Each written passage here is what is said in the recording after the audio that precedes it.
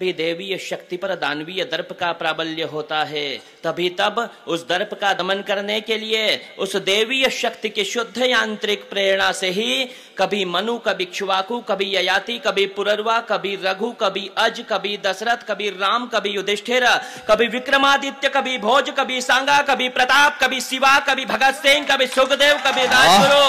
कभी शेखर कभी सुभाष कभी रोशन कभी लहड़ी कभी बिस्मिल कभी केशव कभी माधव कभी बाला साहब देवरस कभी रज्जू भैया कभी सुदर्शन जी कभी श्रद्धेय मोहन भागवत कभी पंडित अटल बिहारी वाजपेयी और कभी नरेंद्र मोदी जैसे देश पर उत्कृत हो जाए